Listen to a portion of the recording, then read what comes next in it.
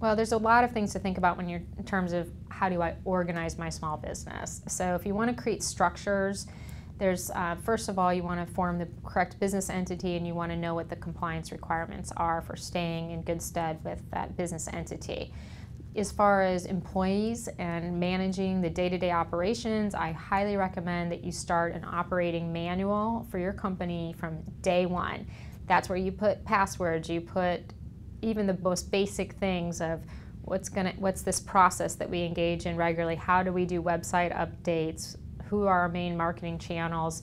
Document everything so that when you go to sell your business or you have to train a new employee or a co-owner on a system that you have it all written out and if something would happen to you you're not the only person who knows how to manage that company. If you're hiring employees you also want to have an employee handbook. These types of documents and, and you want to train people on them, help create structure and organization. And that's the only way to tell where areas of your business can be improved. If you have a system, you see where the fault lines are, you can improve it and continuously improve your company.